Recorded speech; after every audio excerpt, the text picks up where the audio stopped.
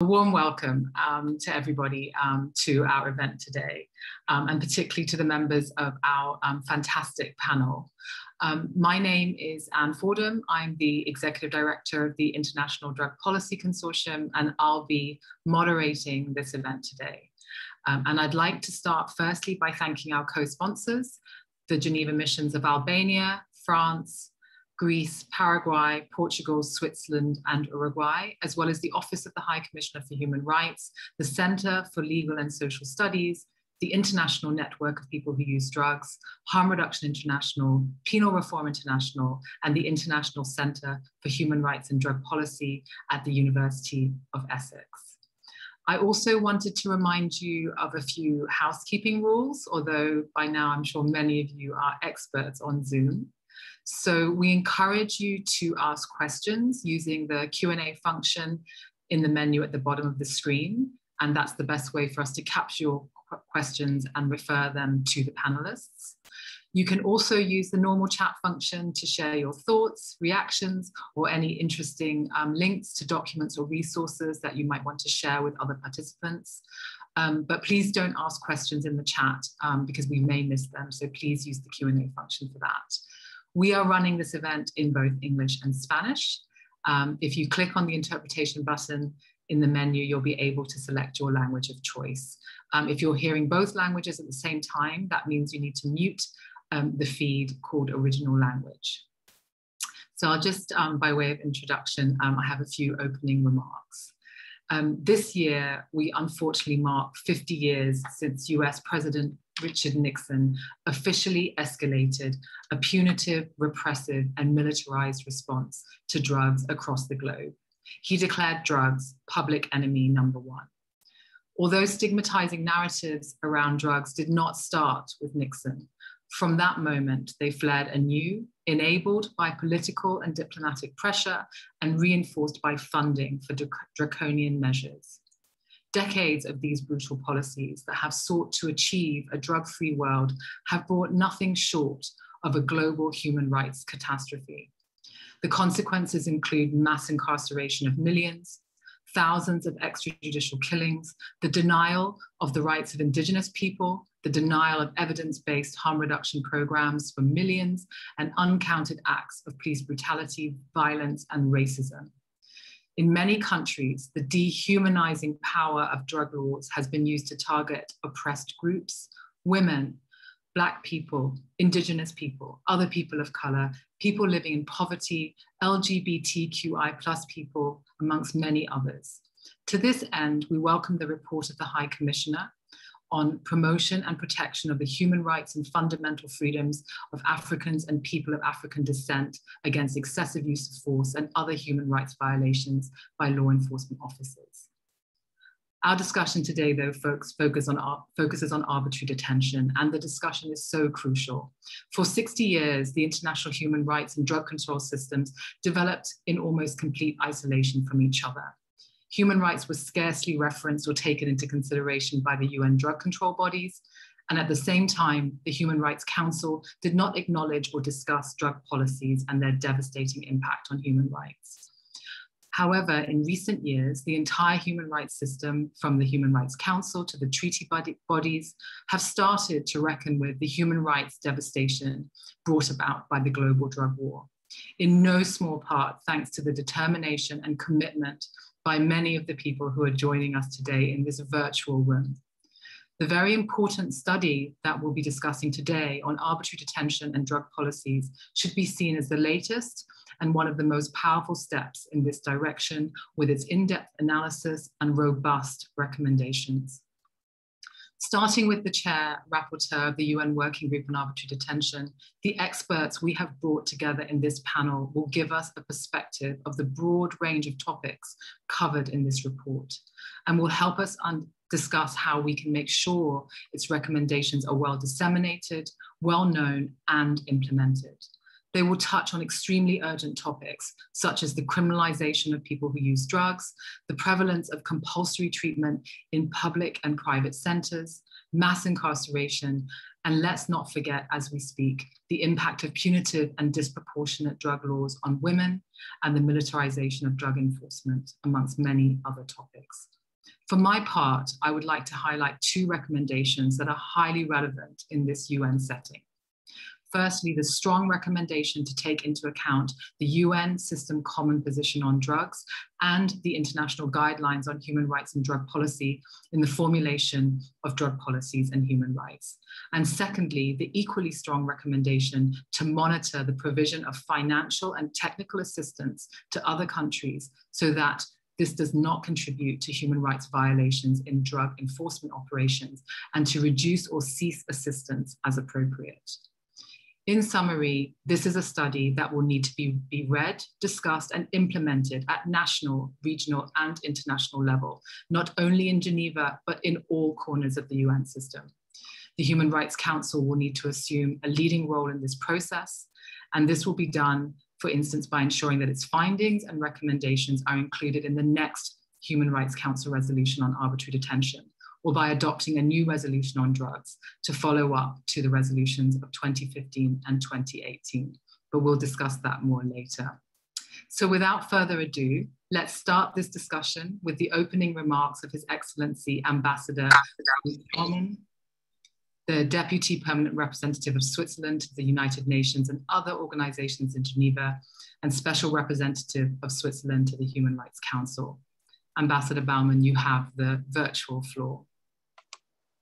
Dear Mrs. Fordham, dear Anne, thank you so much. Excellencies, dear participants, dear colleagues, uh, uh, uh, good, good day. And it's really a pleasure and, and an honor for me to be with you and to say a, a few, a few short words beginning of uh, this particularly relevant side uh, event. And when I say uh, this event is particularly relevant, I'm saying this for two reasons. first of all, because the event is, is very timely. As you may know, Switzerland, together with partner states presented the first, um, uh, the very first resolution on rights and drug policy to the Human Rights Council in 2015. Uh, and this uh, groundbreaking development was, was then followed by another successful uh, resolution three years later in 2018. Uh, since then, the, the interlinkages between drug policy on the one hand and human rights on the other have received increasing attention and recognition. And one uh, great example uh, thereof, which was already mentioned, is, is, of course the international guidelines on, on human rights and drug policy. These guidelines, developed with the financial support of UNDP, uh, Germany, and, and, my own country, highlight the measures states should undertake or refrain from undertaking in, in order to comply with their uh, human rights obligations and commitments. Uh, and Switzerland will continue to fully support the dissemination and implement, implementation of this, this very useful tool. Close attention to the links between uh, drug policies and human rights is important. However, challenges uh, persist and human rights, uh, human rights lens uh, should be applied systematically in relation to drug policies. For example, as we have seen again during this pandemic, um, one, one area where huge challenges uh, remain is the area of arbitrary detention. We are therefore here today to, to take a closer look at, the, at this, this new study on arbitrary detention relating to drug policies. You will hear from, from our distinguished panelists why uh, drug use is not a sufficient cause for inca incarceration and why states uh, should urgently close compulsory drug uh, detention centers. And secondly, I, I, I, again, I call this a particularly uh, relevant uh, event today because uh, the topic we discuss is, is, is cross-regional. It is a concern for, for many uh, different states around the world, and it is a global uh, concern. Consequently, we encourage uh, OHCHR, UNODC, and the Working Group on Arbitrary Detention to disseminate the study amongst relevant international, regional, and national um, organizations and bodies and all member states are, are encouraged to take the findings of the study into consideration and to develop drug policies that comply with international human rights law and that align with relevant international standards, such as the international guidelines on uh, human rights and drug policy, the, the the ones I mentioned before. Um, the, the cross-regional relevance of today's topic is also evidenced by, by the broad range of, of co-sponsors and the very diverse composition of the panel today uh, with people uh, really from, from very different um, backgrounds and continents. Uh, so, Excellencies, dear colleagues, let me let me end by expressing my, my gratitude to the International Drug Policy Consortium that really deserves all the all the credit for uh, for putting this event together today, and uh, also as as ended just before, let me let me my turn uh, also thank uh, the, the, the co-sponsors once again: Albania, France, Greece, Paraguay, Portugal, Uruguay, then the OHCHR, the Center for Legal and Social Studies. Harm Reduction International, the International Center on Human Rights and Drug uh, Policy of the University of Essex, the International Network of People Who Use Drugs, and Penal Reform International. And of course, a big thanks, uh, uh, uh last but, but, but very from, far from least, to our distinguished panelists who will now uh, take over and, and walk us through uh, some of the, of the crucial aspects of human rights drug policies and arbitrary detention. So thank you so much, uh, uh, dear participants. Thank you especially for uh, to all of you for attending this uh, this side event, and I wish you um, a fruitful meeting. So, and I uh, hand you over the, the, floor back again. Thank you. Thank you, Ambassador. Um, thank you so much for being with us today, for your kind words, and also, you know, thank you to Switzerland for your continued um, and sustained um, leadership um, at this important nexus of um, human rights and, and drug policy. Um, so we'll move on to our first panelist, uh, we are deeply grateful to have with us today, knowing that she has a very busy schedule.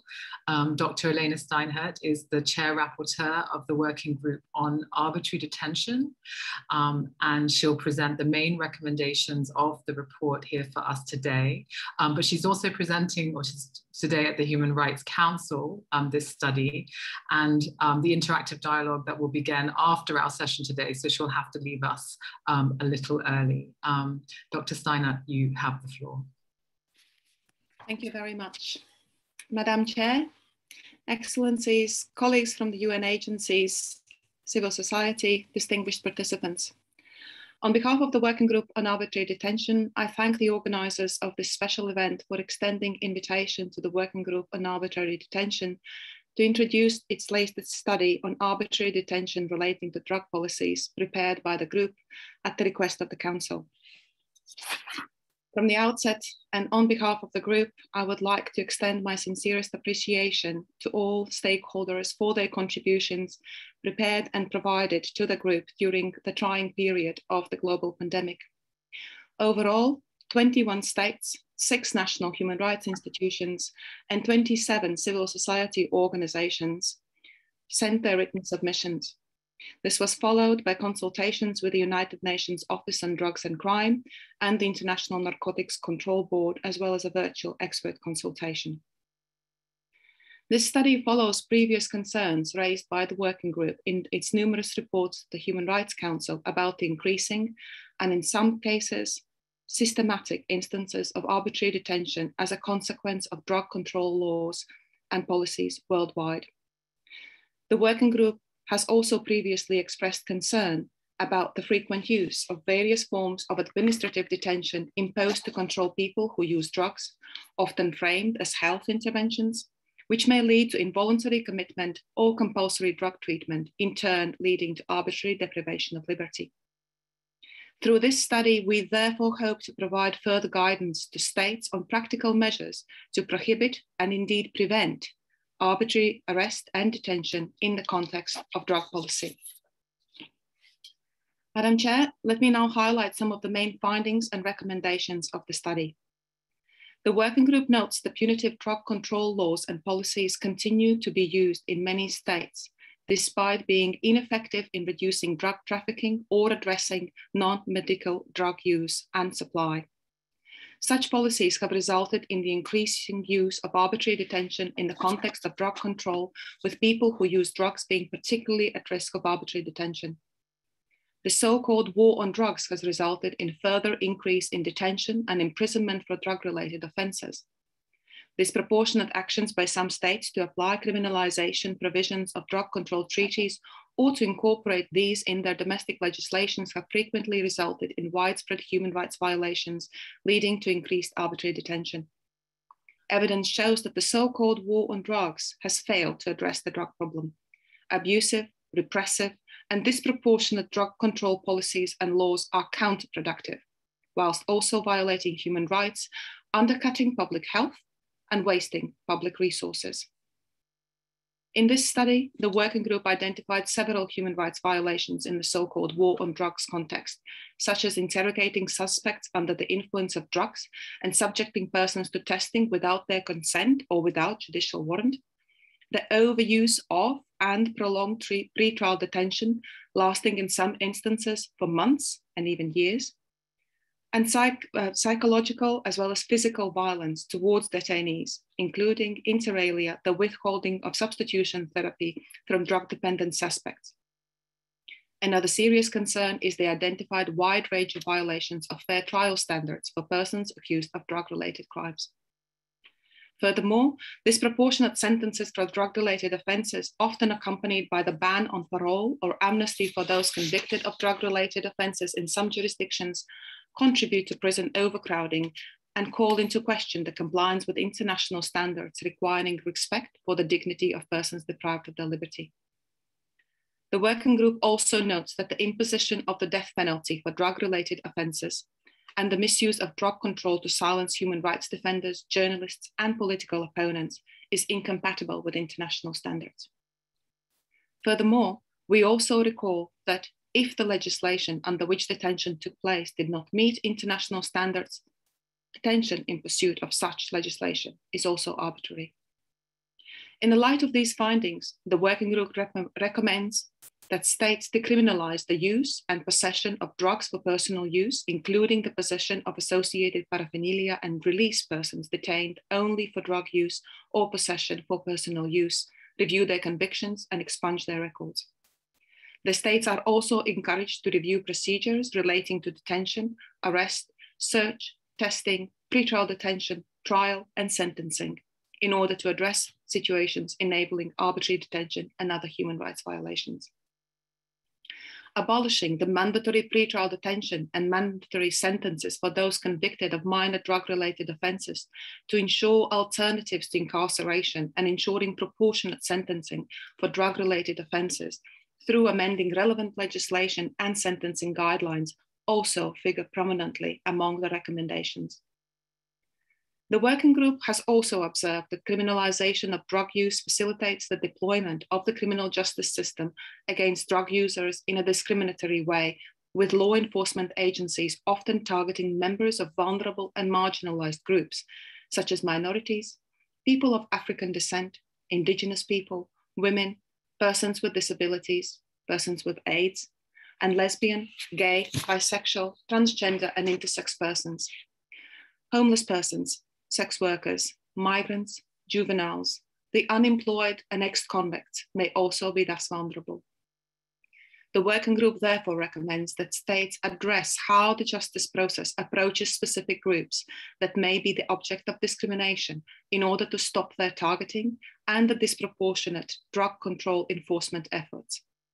States are also encouraged to protect the rights of Indigenous people to produce crops and plants that they have traditionally grown for their religious, medicinal, and customary purposes and ensure that such production is not criminalized. I would also like to ha highlight findings and recommendations concerning healthcare for drug users in detention.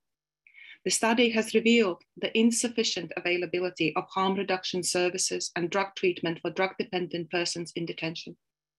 Only 56 states provide opioid substitution therapy in prisons, and when provided, it may be available only to limited percentage of inmates. The working group also found that despite the evidence in terms of the lack of effectiveness of compulsory treatment, the practice of confining people who use or who are suspected of using drugs against their will in state run or private compulsory drug treatment centers is still widespread and can give rise to arbitrary detention. Similarly, courts often coerce defendants with a choice between imprisonment and drug treatment. The working group considers that emphasis should be placed on harm reduction whilst addressing the social and economic vulnerabilities and follow up. Specifically trained healthcare professionals and appropriately trained social care professionals should be solely responsible for the treatment of and care for people who use drugs. In the view of the working group, the shift from punitive to supportive approach should be translated into making drug treatment voluntary and based on informed consent.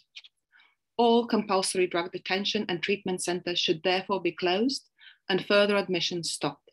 Instead, voluntary, evidence informed, and rights based health and social services should be made available in the community. Madam Chair, the working group will now turn its attention to disseminating the study among the widest possible range of stakeholders and invite initiatives in supporting such further dissemination and implementation of its recommendations. I thank you. Thank you very much, um, Dr. Steinerte, for this excellent presentation and again to the working group for your important work here and your very clear and robust recommendations. Um, I'm, because we know that you'll be uh, have, have to leave us early today, I'm just going to um, ask you one question uh, now because I don't think you'll still be here for the Q&A. Um, so with this study, the working group has given us one of the most powerful sets of drug policy recommendations to align drug laws with international human rights law. But the study also underscores the immense distance between human rights standards and the daily experience of people who use drugs and other affected communities. Um, the question is, how are you looking at cooperating with international and national institutions to ensure that they understand and are working to implement the recommendations in your report? Thank you very much. Um, I shall be pleased to share the few, first few initial steps the working group intends to take to further disseminate the study and further the implementation of the recommendations that we are making in the study. Firstly, as required by the Human Rights Council, the report will be shared with the Commission on Narcotic Drugs as the policy making body of the United Nations with the prime responsibility for drug control matters. The working group also hopes to be able to present this study to the Commission at its reconvened 64th session to be held on 9th and 10th of December of the current year. Moreover, the working group intends to share the report, the study, with the International Narcotics Control Board and to initiate a discussion on how to promote the implementation of the recommendations through the work of the board members. The working group considers that this independent quasi-judicial monitoring body for the implementation of the United Nations International Drug Control Conventions could play a key role in furthering the study and the recommendations made, including inter alia, through regular consultations with governments as well as its country missions arranged in agreement with the concerned governments. The working group also plans to share the study with a wide range of regional partners, including the Horizontal Working Party on Drugs, the coordinating body responsible for leading and managing the European Union Council's work on drugs, the ASEAN Intergovernmental Commission on Human Rights, and the Latin American Commission on Drugs and Democracy, just to name a few. Moreover, the working group will streamline the recommendations in its own work through, for example, our official country visits to states where the drug policy debate is per pertinent in this context, the working group will encourage states to implement the relevant recommendations contained in the study. However, the, in concluding, the working group stands ready to work with all the stakeholders, including the civil society, in further disseminating the report and the recommendations. Within its mandate, the working group on arbitrary detention welcomes all approaches for advice and assistance and stands ready to support states and all other stakeholders, including civil society organizations and affected communities, in promoting and protecting human rights and especially freedom from arbitrary detention while addressing the drug problem. Moreover, we call upon all stakeholders to take an active role in disseminating this study to uphold the common duty to further the effective implementation of the absolute prohibition of arbitrary detention in the context of drug policies. We ask you all, take this study and own it. Thank you. Thank you so much. And thank you for these powerful words. And I think from the perspective of those of us here from civil society, we definitely stand ready um, and willing um, to, to work with you and support you in disseminating these recommendations and, and you know, ensuring they will be implemented. So thank you. And thank you again so much for being with us and good luck for this afternoon. Um, we'll be there with you. So um, moving on to our next panelist, um, I'm delighted to introduce Yati Jonet.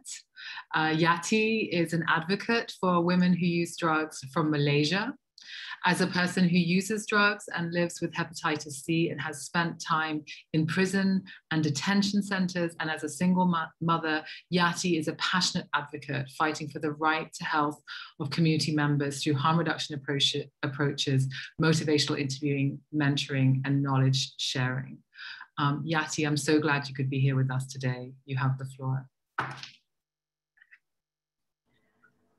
Hello, everyone. Um, First, I just want to say that I'm I'm overly excited. I think um, almost cried hearing this because this is this is it. This is the moment, the thing, the key thing that actually need to happen uh, for the past five years, and now we are talking about it, and I'm having goosebumps here. no, um, I'm much looking forward to what's coming um, ahead. So. Um, on behalf, I think I can speak on behalf of the people who use drugs committees around the world. We welcome and, and really appreciate the work of the UN Working Group um, on arbitrary detention, uh, the Human Rights Council, civil society, other strategic partners in addressing the violence of human rights in a person who use drugs livelihoods, which personally speaking, have altered the life of, I mean, it has altered the life of people who use drugs around the world. And let alone uh, the beneficiaries, meaning that the family, spouses, and all that, it, it's affected in a very harmful way. And I would like to introduce myself. I'm Yati Jonet. I'm from Malaysia, 47 years old, living in this world. Where from first year to my 14 years, I was raised by parents. When I'm 15 to my 35 years, that drug makes its appearance in my life. And that's including my time in prison and also in drug detention centers. As of now, I'm from two from my age of 36 to 46 years old, I'm able to uh, I'm able to get out from the, the war zone. And now just to make a living, uh, yes, just to make a living like any other human being. Unfortunately, it comes with like a maybe undiagnosed PTSD or unnecessary paranoias. It's because of the past experience that I, I have um, in the vicious cycles of uh, punitive drug war. And that is about me. And there are thousands, millions of others which were reported by uh, UNODC every year, people who use drugs uh, having experience most similar like me or maybe more severe than me. Talking about that, um, when talking about the detention center, my experience is definitely di- different from others, uh, especially from other country. Uh, we are all aware that there are many, I mean, thousands of um, government's uh, own rehab center, which is like compulsory rehab center around Asia, Southeast Asia, Malaysia, for example. We have like in Malaysia, we have hundreds of rehabilitation centers, which includes um, the private rehab centers and also the government uh, uh, compulsory detention centers. And here in my country, I can see like around 5,000 uh, were detained in detention centers. And they are all, uh, most of them are repeated repeated uh, drug users who uh, who was sent there, and without we realized that it's it's the vicious cycles uh, of the punitive law that makes them uh, repeating the same uh, the sequels of uh, being in and out from the rehab center and, and also the prison, which supposed to cure or to rehab uh, pe people like us who use drugs. I would like to share that um, I think I am, or maybe many others, I lost our life. I mean, we lost our life at the very moment we were forced to to go to rehab. At the very moment that we were uh, detained by uh, police officers and was taken to to urine testing and without any possessions of substance, we were sentenced we were forced to go to rehab. You have to stop using. Um, you are in danger to the society. You can create more harm. Uh, this is our act of love by taking away um, our uh, by taking away from our family, uh, for example, it's it's it's it's traumatic. Um, I, I cannot explain the the how how severe it is, and uh, it's it's definitely different. My my experience and other colleagues who use drugs um, have experiences like totally different. We I don't know how what to say. when you're taking away from your family, you, you, you lost everything. You lost your dignity and being harassed, abused, and being looked down or sidelined, sidekick in many ways.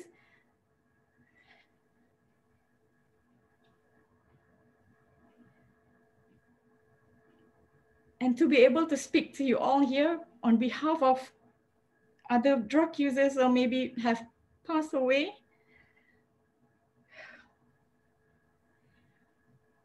I really hope that this, this report with a very strong recommendation will be taking place in the states in urgent matter. Looking at this new era of COVID-19,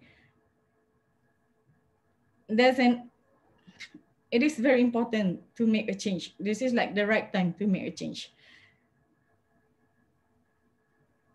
talking about that as a person, women, a mother, we face like double the stigma. We face double the harassment than the men who use drugs because oftentimes we lost our we lost our parental rights to the children our children were taken away as if uh, we are not capable of taking care of our kids. Me, myself, like, lose, I'm losing the sense of motherhood to my children. How bad is that? So I, I, I'm trying to get that uh, back from what I've missed uh, for the past 20 years that I've been in a war zone. So I think by having this, uh, I mean, talking to you all here, it's a gift like, it's not easy for me to talk about this. And living in the very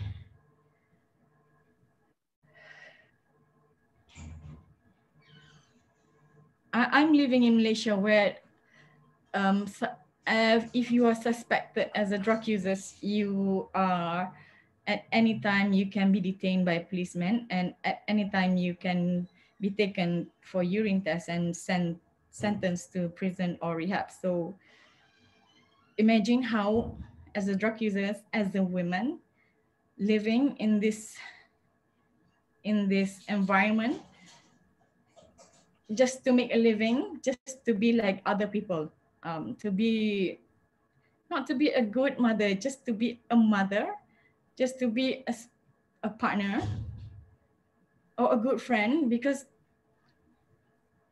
I believe that not all drug users are criminal. Do I look like criminal to you? So I really, I would like to take this advantage on this event that there are going to be like good changes in future where no more fear for me to speak out about my rights, health rights, and not just towards me, I mean, towards all drug users uh, in my country and in Southeast Asia or globally, where everyone um, in in the in the past in in the in the previous years like we were subjected to this agency. We were subjected to be imposed such as condition by many agencies. So how are we going to make a living with that environment? And i i just i just want to live in a very enabling environment where I can work, I can pay taxes, I can cook for my family, I can go for holidays. Is that so hard to us? And I don't know, I, have been like uh, here and there. Um, I think that's all about it. Um, you can ask me any question if uh, with with regard uh, my experience so i can i can share with you uh, uh, i can answer to you accordingly afterwards. Apologize for all my nervousness and anxiousness. Thank yeah, you there's there's no apology um, needed. Thank you so much for um, sharing and being so brave. And um, you must read the comments um, that um, so many have responded um, to um, yeah how just powerful and honest you have been in the chat um, it's it's it's really quite overwhelming so thank you and really thank you so much for for being here with us today and I hope we'll have more time to come back to you in the we will in the Q&A um, so thank you again. We're just going to um, give everyone time to recover a little bit. We'll share a short um, film, very short, just a couple of minutes now from the OHCHR um, on um, decriminalization of drug use and actually features uh, Yati again. So I'll just ask my colleagues from IDPC to, to share the film now.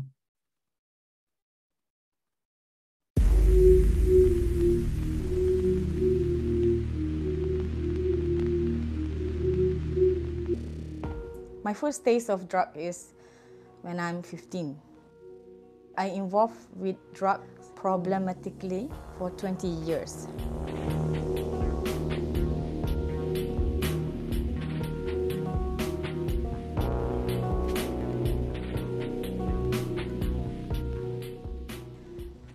Was sentenced to prison for two times for a small possessions of heroin during that time and two times to rehab center. And actually, it doesn't stop me from using as I'm currently using. The so-called war on drugs is given by the idea that crackdown on people who use drugs or who are involved in the drug trade, the drug uh, problem will go away. 20% of the prison population now uh, in detention for drug-related offenses, including for personal use of drugs. People who use drugs do not forfeit their human rights by virtue of their drug use, and that in parallel we ensure that their other rights are met as well, in particular the right to the highest attainable standard of health. We are witnessing, in some cases, increasing human rights violation related to the drug control efforts This includes uh, extrajudicial killings.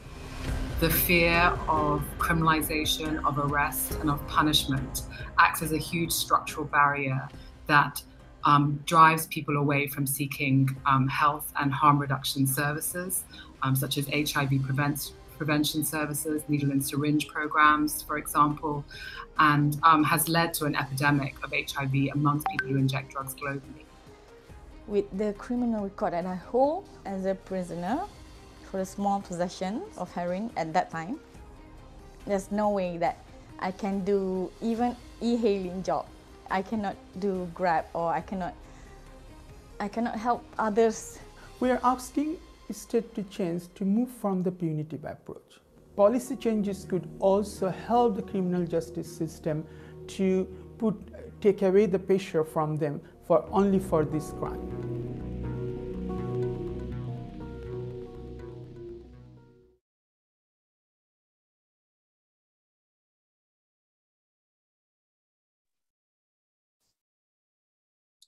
So moving on to our next speaker, um, I'm delighted to introduce Anthony Ojukwu. Um, Anthony was appointed as the Executive Secretary and Chief Executive Officer of the National Human Rights Commission of Nigeria in 2018. And prior to that, um, he worked with the Commission in various capacities over two decades. Um, Anthony, I give you the floor.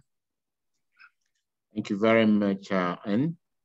Your Excellencies, co-panelists, ladies and gentlemen, permit me to stand on the already established protocol. Let me start by appreciating the International Drug Policy Consortium, the Office of the High Commissioner for Human Rights, and all the partners and co-sponsors that have organized this crucial event. I also want to commend the working group on arbitrary detentions for the study on arbitrary detentions relating to drug policies pursuant to the Human Rights Council Resolution 4222. This study is highly commendable and will help national human rights institutions and other stakeholders in advocacy, sensitization, promotion, protection, and enforcement of human rights of persons detained for drug-related offenses. It is important that I set the legal, social, and economic context upon which my intervention will be based. From a legal perspective, the, decriminalization of drug use in Nigeria is well entrenched in the laws, the National Drug Law Enforcement Agency Act, the Dangerous Drugs Act, the Indian Hemp Act. And these prescribe punishment of over 15 to 25 years, and therefore they are not minor offenses. It is important to note, however, that the legal regime in Nigeria and in many countries in principle recognize the lawful possession of personal use of certain categories of drugs. From a social standpoint, drug use and related human rights violations, including arbitrary detentions, are driven by vulnerabilities, inequalities, and poverty. Over social conditions, such as lack of access to adequate healthcare, education, and homelessness, are also key contributors in, this, in the same vein, economic conditions such as unemployment, increased vulnerabilities, which in turn deprive individuals of income, dignity, and voice to demand and defend their rights. Looking at the human rights perspective to drug policies and arbitrary arrests, the Constitution of Nigeria in Chapter 4 provides the rights of every person, including those arrested on suspicion of drug-related offenses. These include the rights to life, personal liberty, fair hearing, and dignity of the human person. We have just heard from Yati how the dignity was affected because of her experiences. These constitutional provisions are to ensure that suspects are not subjected to torture, cruel, inhuman, and degrading treatment or punishment and extrajudicial execution. The Constitution guards against prolonged detention and guarantees expeditious and fair trial for suspects. As national human rights institutions, we have seen constant violation of relation drug enforcement in Nigeria. I outline a few instances, arbitrary and intention. Incidents of arbitrary arrests by drug and law enforcement officials founded on mere suspicion of possession, often violating the right to privacy and dignity. Officials also deploy unilateral declaration of certain locations as black points or hotspots. This is usually followed by raids, search of persons, premises, blanket arrests, and confiscation of exhibits.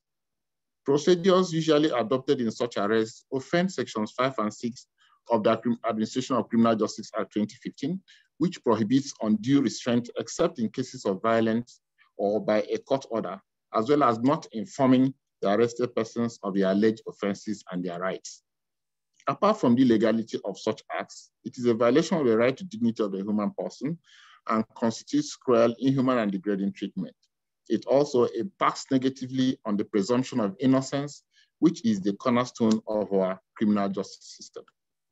Looking at access to justice, prolonged detention, lengthy trials, and access to legal representation and fair trial.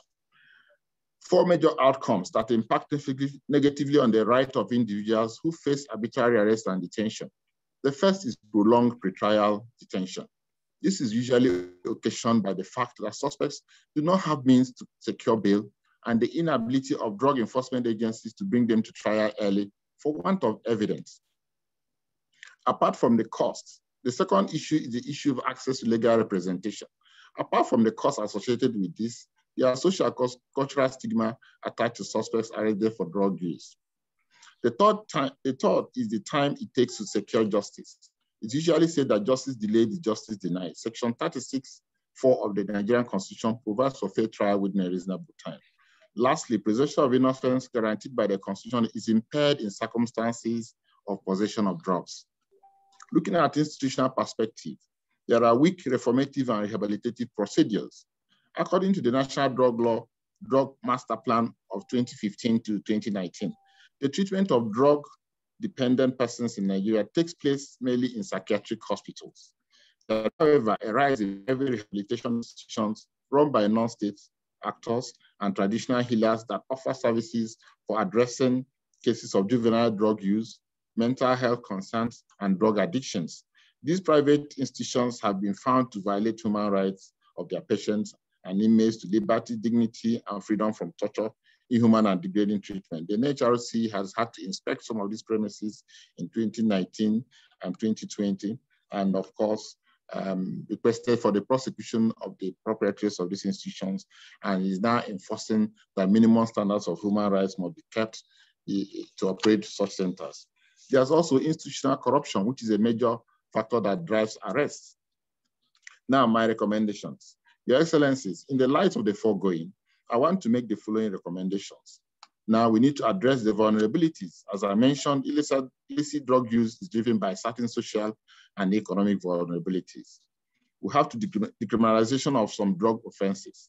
Decriminalization, decriminalizing drug possession and personal use will go a long way in reducing arbitrary arrests, detention, and associated human rights violations. It will also lead to the congestion of correctional centers and other detention facilities reducing running costs and exposure to COVID-19 and other health challenges. Institutionalization of non-custodial measures. The legislature, the judiciary, and stakeholders in criminal justice system should strengthen the use of non-custodial measures regarding drug users. Prerogative of mercy. Executive authorities should conduct review of sentences, exercise their prerogative towards persons already drug use. Because of this associated with drug use, most persons associated with drug offenses are not likely to obtain prerogative of mercy. Training of drug enforcement agencies, personnel and officers of drug, drug enforcement agencies, such as the Nigerian Drug Law Enforcement Agency, should be trained on international, regional, and national human rights standards, especially regarding arrest and detention. There should be change of judicial attitude, and there should be reforms in rehabilitation and treatment. Integration of rehabilitation services into the formal healthcare sector will provide more funding and standards. State authorities should also ensure effective licensing and regulation of private treatment. Lastly, Your Excellencies, what should we, what should be the role of national human rights institutions? The national human rights institutions should collaborate with the, with the committee, with the working group to make sure that um, this report, this study is uh, uh, is partnered with uh, GANHRI, which is a global alliance for the network of national human rights institutions, so that national human rights institutions worldwide can increase oversight functions on drug enforcement agencies through monitoring and visiting of detention and holding facilities. GANHRI can help national, uh, can, can use the, the network of national human rights institutions to adapt recommendations of the working group on arbitrary detention into normative frameworks and principles, including guidelines and advices to drug enforcement agencies and the judiciary. Through GANHRI, there should be increased collaboration with civil society organizations and other support groups on drug users to create awareness of human rights standards and other legal protections. And of course, uh, network of national human rights institutions can enhance free legal and pro bono services to suspects on detention and trial. Thank you, Your Excellencies. Thank you for the moderator for the opportunity to make my intervention. Thank you so much, Anthony, and thank you for your you know, um, real clarity in closing in terms of the role of national human rights institutions in um, taking forward and embedding and operationalizing, operationalizing the important recommendations um, in, in this report. Um, thank you so much.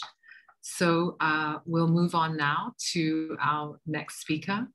Um, our next speaker is um, Ambika Satkunanathan. Um, Ambika is a human rights lawyer and advocate based in Sri Lanka. Her work has fo focused on research, advocacy, and assisting communities, particularly in the North and the East, in accessing remedies for rights violations. Ambika is currently an Open Society Fellow, um, but from October 2015 to March 2020, she was a commissioner of the Human Rights Commission of Sri Lanka, where she led the first ever study of prisons. Um, Ambika, thank you for being with us today. You have the floor. Thank you, Anne. Thanks a lot. And thank you to the organizers for inviting me to be part of this important conversation. Uh, but uh, um, my special thanks are to the working group for what is an excellent and uh, strong report, and I think will be a very useful resource to all of us in the coming years. I will focus on trends and patterns in Southeast Asia based on a recent study I did, and also on Sri Lanka. My aim is to show that despite certain differences, there are commonalities in the trends and patterns across regions. This is due to common structural and systemic factors that remain unaddressed and result in these repeated violations, which is why it is critical that we implement the recommendations of the working group. We should view these violations not only from a rule of law perspective, but also use a socio-economic and political lens to understand the critical need to address the impact of drug policies uh, and the criminalization of uh, vulnerable populations. The rise of populist authoritarian leaders and increased militarization creates a conducive environment to demonize marginalized populations, such as people who use drugs. Now, if we take Southeast Asia, countries in this region, which have some of the harshest drug laws in the country, have generally adopted a punitive rather than a human rights-based public health approach to drug use. As a result, they have in, uh, invested considerable resources in incarceration and abstinence-based treatments and compulsory centers for drug users. Many countries in the region present compulsory drug rehabilitation as an alternative to punishment. The laws label drug users as drug dependents or drug addicts, and governments claim that they will be treated as patients. But in practice, what this translates into is compulsory rehabilitation. Data shows that in seven countries in the region, there are close to half a million people sent to re compulsory rehabilitation centers every year, with no evidence that shows any clear positive treatment outcomes. The centers are run often by security agencies who have little or no knowledge or expertise to provide clinical treatment for drug dependence and have no capacity to assess treatment needs. People are sent to these uh, centers through laws that mandate arrest and detention and forced urine tests, uh, through which drug dependence, as we know, cannot be determined. The centers are often overcrowded, conditions are inhumane, and physical abuse is routine. Uh, and there is a lack of robust judicial oversight detainees can be subject to welcome, what are called welcome beatings, perpetrators by the room, perpetrated by the room leaders, and allegations of sexual violence are also reported. Treatment and rehabilitation comprises of forced withdrawal, abstinence, military style drills and exercises, and physical abuse, as well as forced labor. This is based on an ideology that drug use can be stopped using one's will and that a person must be punished for using drugs. There is also a lack of access to healthcare, or where it is available, it is not of an acceptable level. So now we move to Sri Lanka. So here, you, this is where you see that the parallels, the commonalities. Um, in Sri Lanka, the role of the military in drug control has increased rapidly during the last decade, especially after the conclusion of the armed conflict in 2009. Uh, the security forces uh, involvement ranges from drug related arrests to conducting awareness programs in schools about drug use. Now, what's important to us are the ways in which the law enables the arbitrary detention of persons arrested for drug offenses. So there are five ways. One is, of course, what we call the infamous Section 54 of the poisonous, uh, Poisons, Opium, and Dangerous Drugs Ordinance. Under this law, it is not uh, uh, possible to obtain bail at the magistrate's court, which is the court of the lowest level. Uh, bail is granted only in high court and only in exceptional circumstances. Now, the persons that we interviewed when we did the national study of prisons when I was at the commission, they accused the police of planting drugs to increase the amount of drugs found in their possession, because this would result in them being charged under Section 54A, which would in turn prevent them from obtaining bail um, as uh, these persons language in pretrial detention, sometimes for months, a year, or even longer, because many cannot afford lawyers, and even if they can, bail is not granted easily. Number two, when the drugs found is about a certain amount, and this depends on the category of the drug, the person will be remanded and the drug will be sent to the government analyst department to test the pure quantity of the drug. Due to the lack of human resources, there are long delays in the test results being issued, which once again leads to arbitrary detention of persons. Number three, for narcotics below certain amounts, a fine can be imposed. But if the person is unable to pay the fine, they are liable to be imprisoned for up to six months in lieu of the fine although the law allows the court to release the person on a bond or a surety and give time to pay the fine in installments, in practice, this is not done. Number four, we have the Drug Dependent Persons Treatment and Rehabilitation Act, which allows an officer in charge of any police station who receives information from anyone that, and I quote, any person is a habitual user of dangerous drugs and has since become a drug dependent person to take steps to present the person for a medical examination and thereafter to produce the person before a magistrate. Now, their arbitrary detention can happen during this process. And when produced before the magistrate, the magistrate can order compulsory rehabilitation. The fifth way is the Community Based Corrections Act which is the only alternative to incarceration that we have in Sri Lanka. However, if persons have a history of drug use or prior offenses, the judge may require the person to undergo mandatory drug treatment. Although the act requires the person to consent to this order, the consent cannot be considered to be free of duress because the alternative to mandatory treatment is a prison sentence. So the person really has no option. Now, recently, the Minister of Public Security stated that, and I quote, the police will move to direct drug abusers to rehabilitation centers where they can be treated and they will not seek to prosecute them in court. Now, what this indicates is that the government might make extensive use of the arbitrary power in the Drug Dependent Persons Act or formulate other means to send persons to compulsory rehabilitation. There are two of these uh, centers that are of particular importance, I think, to us when we speak of arbitrary detention. They are within the purview of the Bureau of Commissioner General for Rehabilitation, uh, but they are administered by the military.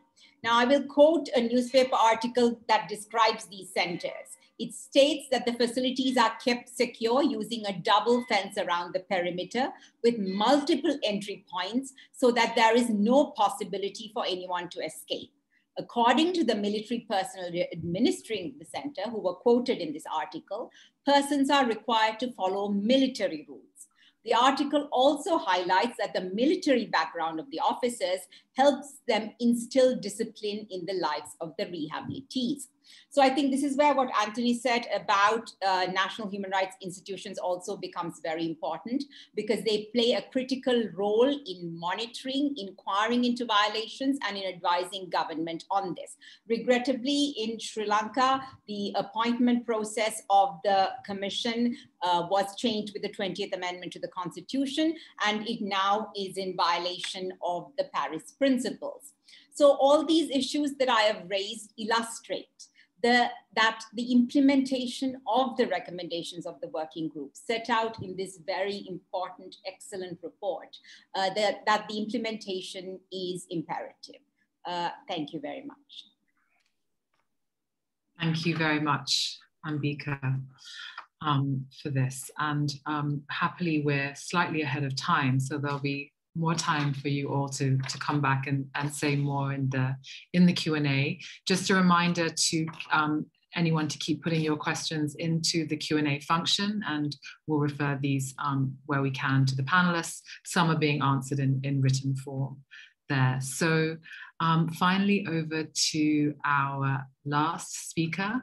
Um, so Claudia Cardona is a psychologist for Corporación Humanas in Colombia. She's an expert on the promotion and defense of the human rights of women who are currently in prison or have been incarcerated in the past.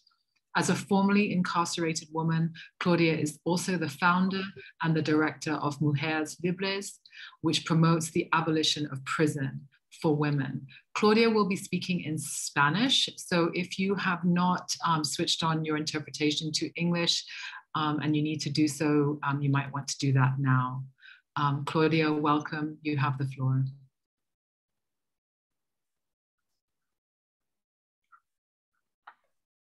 Buenos días y buenas tardes. Muchísimas gracias. Eh, agradezco a todos los organizadores por invitarme a ser parte de este panel es emocionante, em, pues nunca imaginé poder llegar a estos espacios tan importantes después de haber estado en prisión. Em, antes de empezar, quiero manifestar que el nuevo informe del Grupo de Trabajo sobre Detención Arbitraria es un documento muy importante, puesto que reconoce el impacto desproporcionado de las leyes de drogas sobre las mujeres, especialmente aquellas que se encuentran en situaciones de vulnerabilidad. Además, brinda una serie de recomendaciones urgentes como la revisión de las leyes para asegurar que las penas por delitos de drogas sean eh, proporcionadas y que tengan en cuenta las circunstancias particulares de las personas, de todas las personas involucradas. Por lo tanto, animo a todos los países a trabajar en la implementación de las recomendaciones del informe. En Colombia, al igual que varios países de, esta región, la principal razón por la cual las mujeres en prisión eh, están en prisión es por su participación en delitos relacionados con el tráfico de drogas. Según el informe del Instituto Nacional Penitenciario y Carcelario, INPEC, que es la entidad encargada de las cárceles en Colombia, para finales de mayo eh, de 2021, en Colombia habían 6.864 mujeres privadas de la libertad, de las cuales el 43% se encuentran por delitos de tráfico, fabricación o porte de estupefacientes, casi la mitad de las mujeres en prisión. Y de ellas, el 26,8% se encuentran eh, privadas de la libertad sin que se les haya emitido una sentencia condenatoria en su contra. Esta cantidad de mujeres en prisión no es más que el resultado de la fallida guerra contra las drogas, que a través del sistema punitivo afecta en mayor medida a las mujeres pobres, que ven en este espacio una forma de trabajo ante la falta de oportunidades y las necesidades de sostener a sus, a sus, a sus familias. Claramente, resultado de la desigualdad de género que existe en el país y en muchos lados. por experiencia propia y de acompañamiento a mujeres privadas de la libertad y a aquellas que han salido de prisión, sabemos que el panorama dentro de las cárceles no es nada alentador. En Colombia, la Corte Constitucional ha declarado en tres oportunidades el estado de cosas inconstitucional en el sistema penitenciario y carcelario.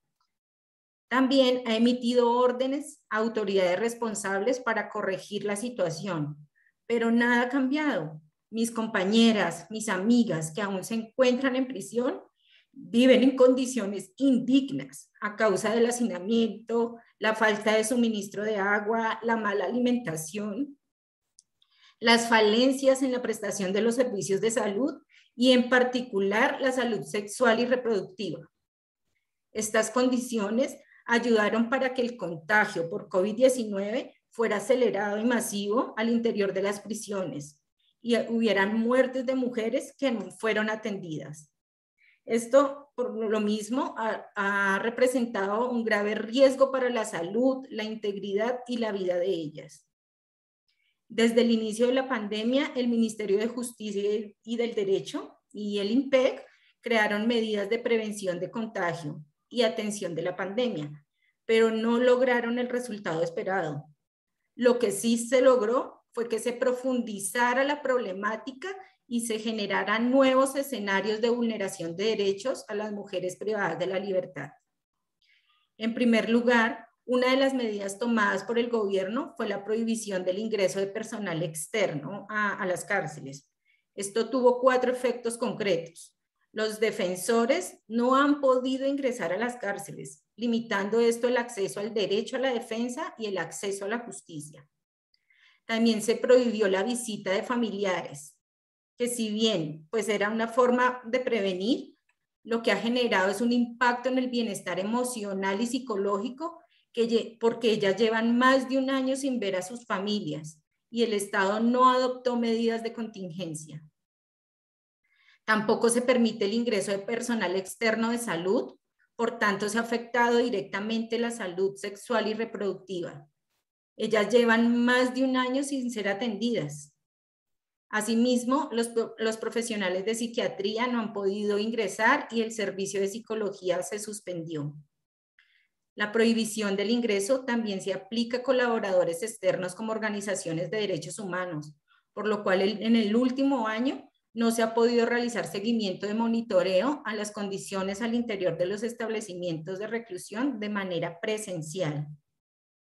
En segundo lugar, al inicio de la pandemia fue prohibido el ingreso de artículos de primera necesidad, como por ejemplo los productos para la salud menstrual, y aunque esto no aparece en ningún lineamiento establecido por ley para la atención de la pandemia, las mujeres lo denunciaron.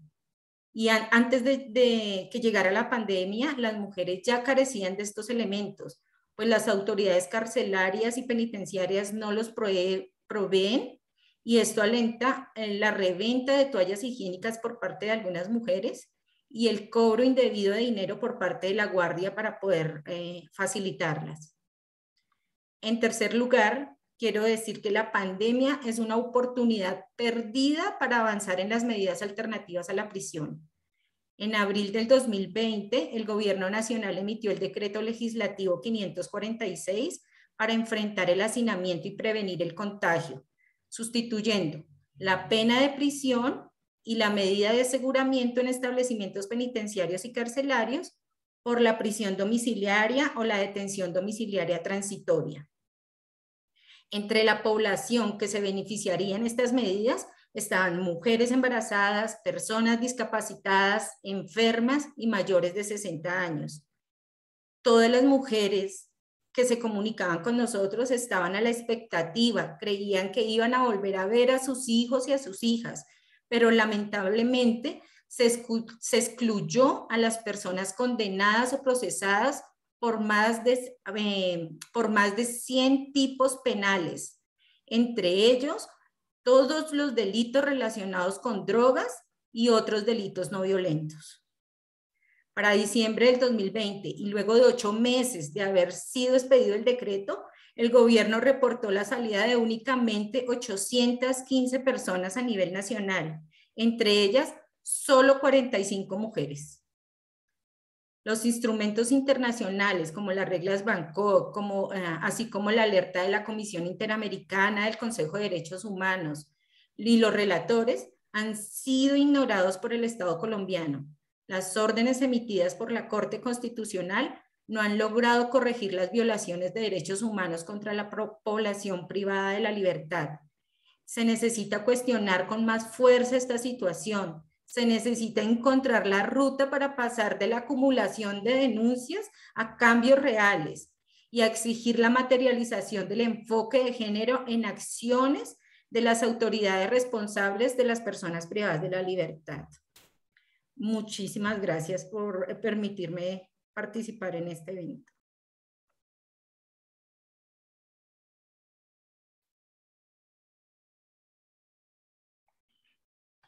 Thank you so much. Muchas gracias, Claudia. Um, and once again, yeah, you have many comments also in the chat, but really thank you for, um, yeah, being brave and also sharing your, your personal experience. And thank you for all the important advocacy um, that you're doing around um, women um, who are in prison for drug offenses. Um, yeah, those of us who follow this issue closely, we know that there's a huge disproportionate um, impact um, in terms of the burden of these repressive responses on women all over the world.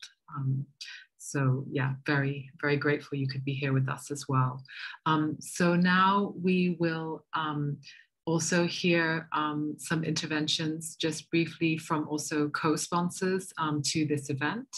And I believe my IDPC colleagues will um, bring the first one in. So this will be Zaved Mahmood, who's the drug policy advisor at the Office of the High Commissioner for Human Rights. And I'm hoping he's going to be joining us very shortly. Hello. Hi, Zaved, welcome. Thank you very much. Uh, I'm where I will not open the video because connection problem.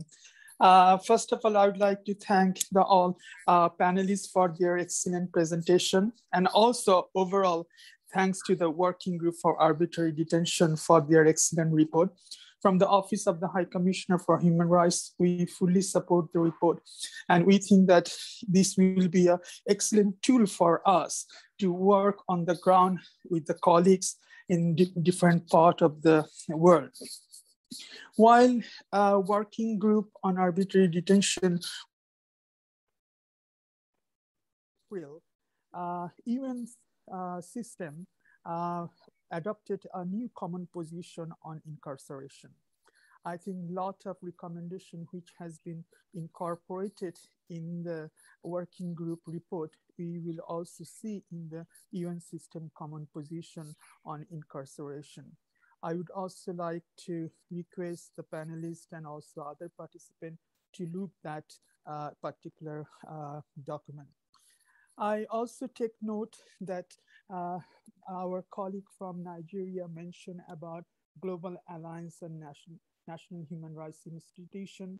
I think it will be really excellent idea to cooperate with them and bring this report and also other tool which is related to human rights and drug policy.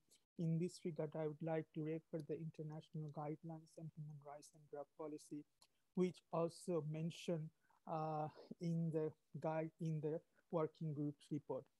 I don't want to take too much time, then I know that uh, we have very limited time. Again, I would like to congratulate the working group and looking forward to, on behalf of the office, to work with the working group for the implementation, uh, dissemination, also an implementation of the working group's report's recommendation. Um, thanks, uh, Anne, and thanks also other co-sponsor for their cooperation on this issue. Thank you. Thank you. Thank you so much, um. And um, our next co-sponsor, who we will um, briefly hear from, will be Luciana Pol um, from CELS. I believe she'll join us in just a minute, a second. Oh, sorry, Luciana, please could you raise your hand? Um, that, yes, okay, great. I think we see you. You're still on mute. Hello, good afternoon, everybody. Thank you, and and I would like to greet the co-organizers of this event. CELS, my organization, is proud to continue working with you on this topic. It's been six years now from the first resolution your delegations contributed to approve. Um, I want to recognize the work done by the working group on arbitrary detention with this report. Uh, the expositions today have has been eloquent, showing its value and its contribution that, that brings in the work we have ahead. Uh, from Argentina and Latin America, we will be most willing to work with you in the dissemination of this report in a region? Uh, I would like to express a special thanks to Yati. Your words touch us all. Your story is a story of so many others who suffer the impact of drug policies in their life and in their bodies, and your brave decision to share that with us here at the UN is so powerful and show us that acting against these injustices is imperative. And also, of course, thank you to Claudia, whom we, we have worked together so for a long time also. I would like to raise very briefly the attention on very uh, relevant sections of the report and maybe ask the panelists for your opinion. Uh, that is a section four that focuses in the impact of the arbitrary detention on minorities and relegated groups of the society. Especially, I would like to refer briefly to two. One is the Afro-descendants. You know, not surprisingly, the report of the Office of the High Commissioner of Human Rights in Structural Racism that was launched this week also identified the drug laws as one of the legal frameworks that perpetuates the structural racism. So I would like to, to ask the panels how you see the, the coordination and the dialogue between, between these two agendas in the, at the council. And also, of course, of, uh, the impact of women. I think the testimony of Yati and of Claudia has been very eloquent on the differential and increased uh, impact on women. So how we can work with uh, also the mechanism that protects the, the uh, rights of women to improve uh, or, or, to counteract these violations to their rights. Thank you very much. Thank you so much, Luciana.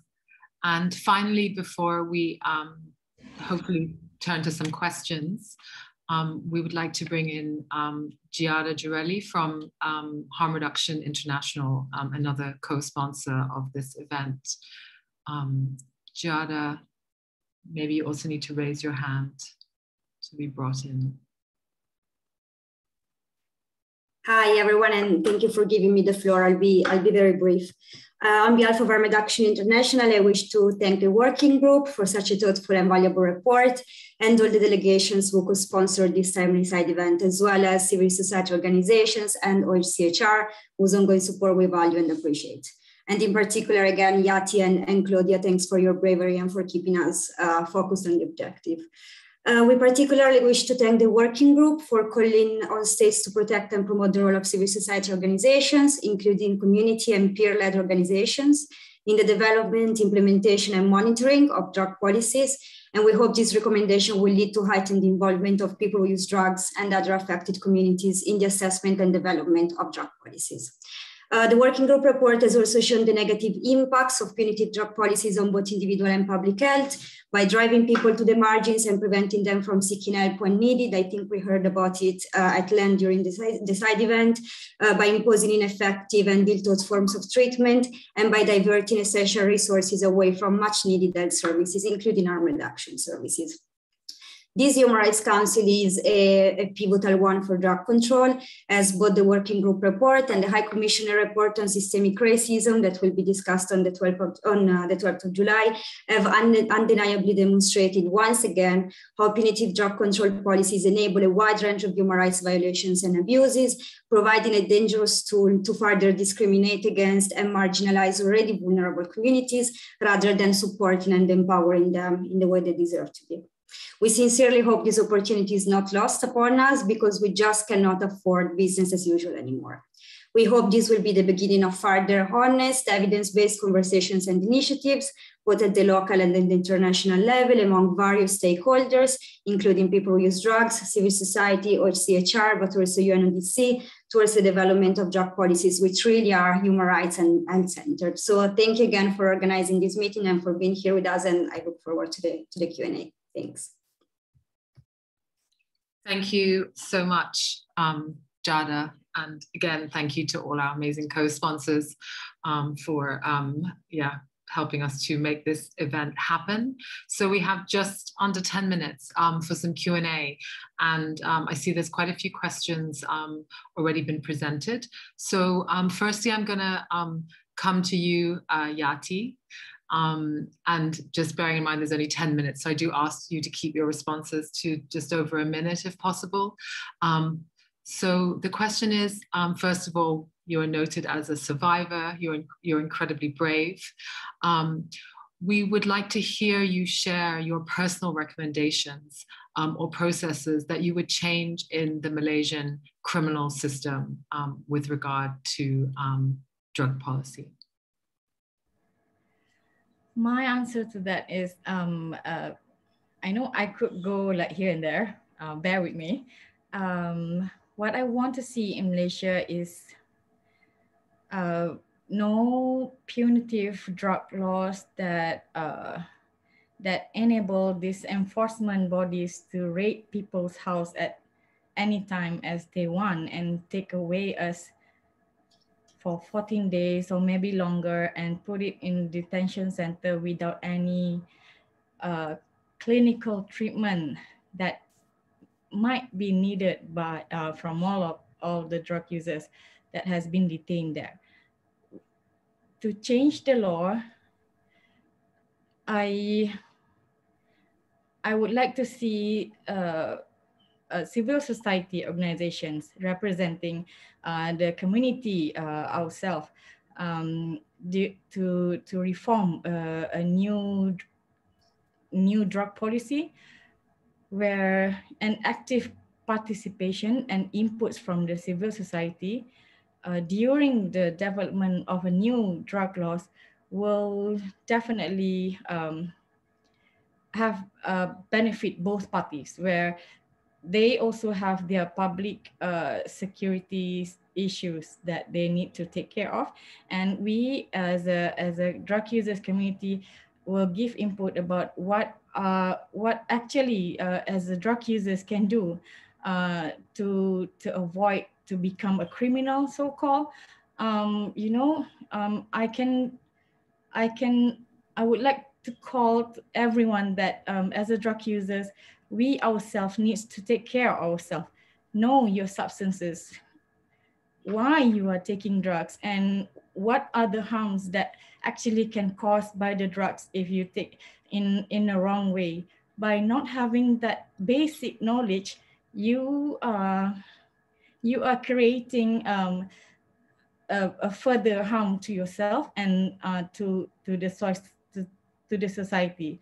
So it is important to know the facts of drugs, the do's and don'ts of substances, which I, so sad. In Malaysia, we don't have that, uh, that uh, community friendly, I mean the facts about drugs rather than the negative uh, uh, reading materials or, or ads about uh, drugs. As we've been seen as the number one enemy of the, our country like for 40 years and still. So knowledge sharing where by sharing our experience and how we live without harming anyone, I think uh, will be the best impact for the government to buy to, to get the the buy-in from the government. I really hope that this is going to work. Thanks, Yati. Thank you so much. Um, yes, there's a lot of hope there um, for Malaysia and many other countries where this is urgently needed. Um, but the next question I'm going to lift up is for Ambika. Um, the question is, um, do you have evidence or indications linking arbitrary arrests in your country to police or military corruption? Um, and yeah, so corruption can be defined as incarceration of consumers or small links while big drug traffickers go unpunished. Um, in other words, security agencies distract the eye. Um, yes, well, uh, in terms of evidence, yes, recently last year, there were a number of uh, police officers from the Police Narcotics Bureau who were arrested because they were involved in the drug trade. Uh, and during the Human Rights Commission uh, study, we actually encountered many people who uh, said that the police planted drugs on them. Um, and just quickly before, I mean, I close, I would just like to make a point, if I may, um, Anne, which is about also um, the UN's role in this because I think particularly at the country level, the UN role, UN's role is very important as to what kind of programs of the state they support and whether they keep human rights front and center. The UN Secretary General has a Rights Up Front program uh, where you are supposed to ensure that or prevent violations from taking place. So in terms of UN agencies supporting things like, you know, compulsory rehabilitation, etc. So I think that point really does need to be stressed. Thank you very much. Thank you so much, Ambika. And finally, um, because of time, I think we'll just ask the last um, question to um, Claudia.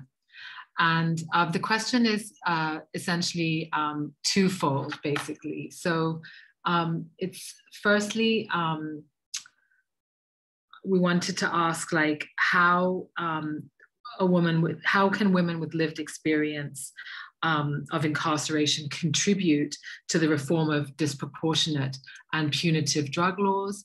And also, um, a sort of related point is that you know we've it's 10 years since we had the bangkok rules. Um, and you know how can we make governments accountable to these very basic um, standards that we have at the un and that's also relevant to you know the recommendations of this report for example um, so over to you, um, Claudia.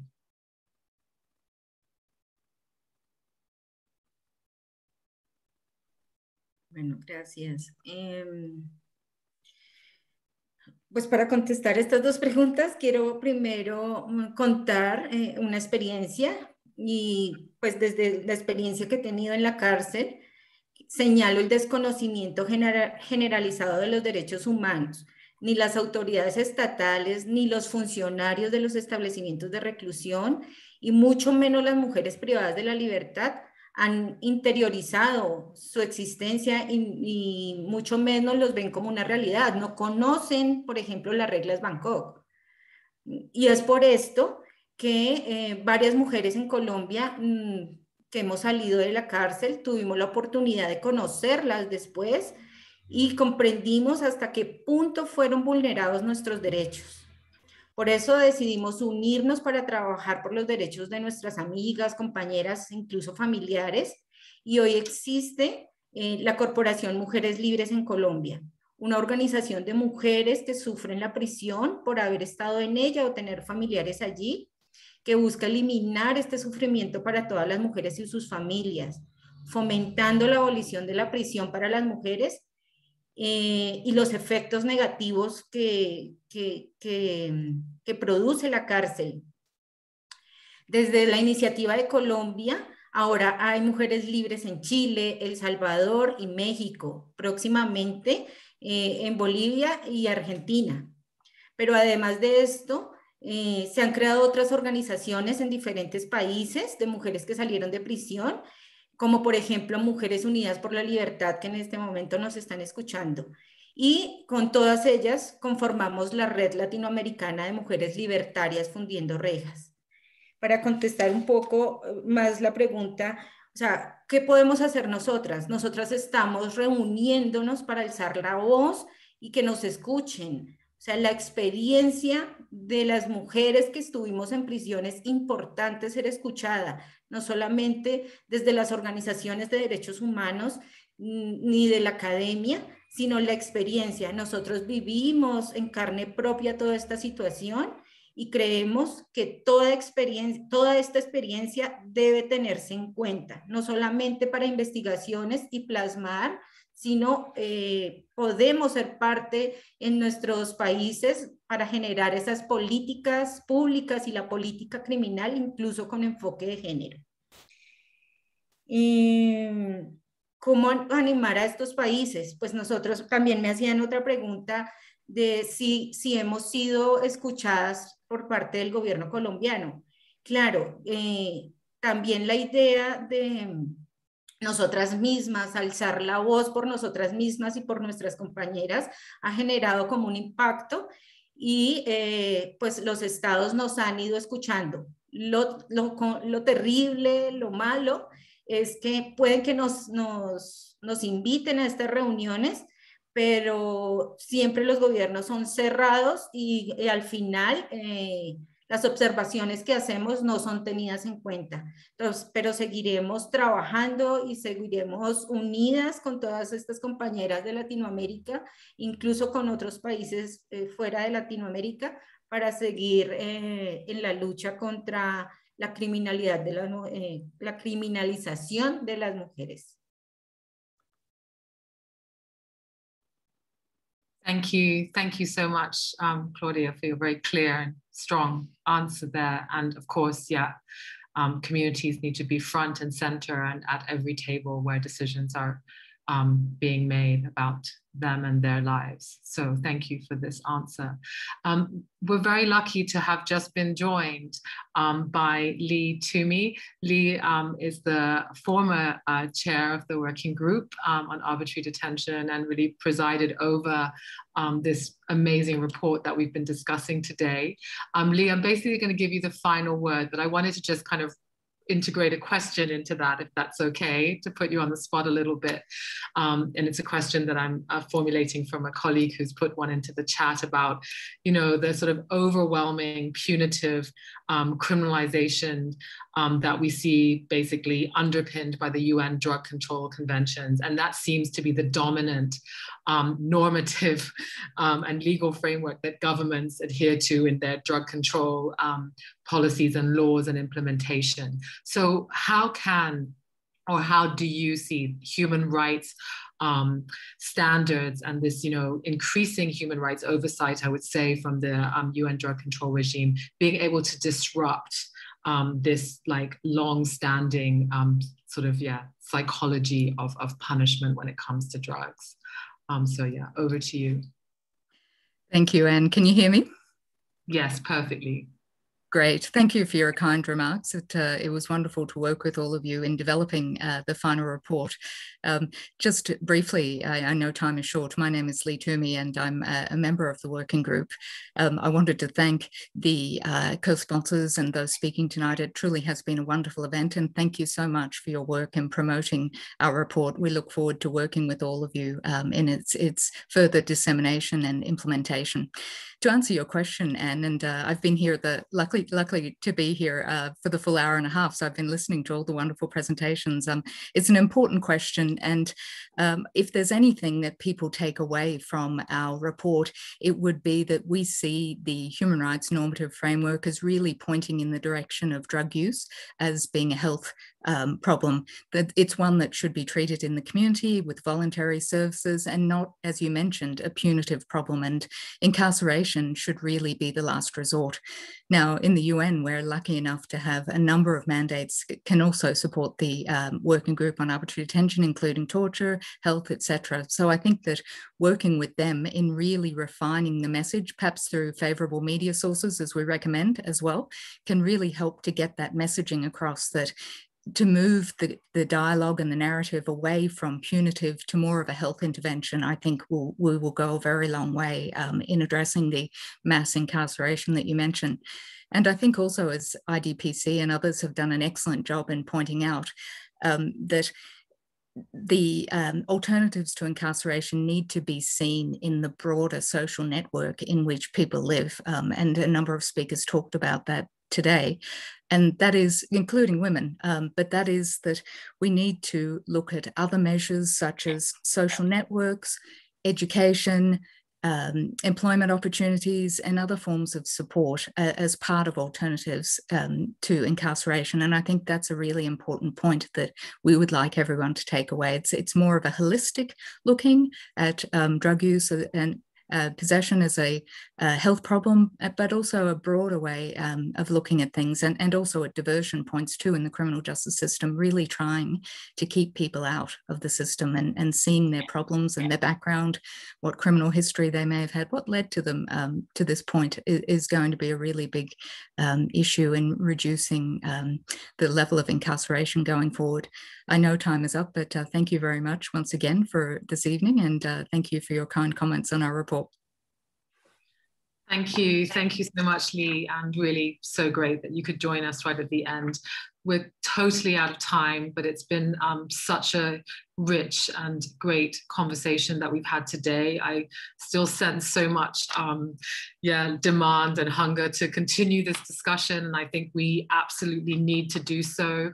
Um, it's been so powerful to hear from all of the panelists, um, the perspectives from um, the experiences at the national level, but also the lived experiences, um, the powerful testimony that Yati and, and Claudia have, have brought to the discussion today, and really um, you know, remind us how urgent we need to move away from repressive and punitive drug control that has really destroyed the lives of so many all over the world. And that's why this report um, is critical. Um, just to really um, echo um, the, the chair's remarks in her opening that, you know, all of us as stakeholders need to own this report now, to disseminate it, to work towards its implementation, to hold member states accountable to encourage those friendly member states to provide resources for the implementation um, of these recommendations. Um, and yeah, I, I just also wanted to let you know that we plan to have a summary report of the discussion that we've had here today. Of course, there will be a recording, um, which we will share widely. And finally, to um, say to Leigh, you know, good luck for the um, interactive dialogue, which starts right now at the council. So, you know, the conversation certainly doesn't end here. Thank you so much to wonderful panelists and to our co-sponsors for being with us today. Um, really appreciate your time. Thank you.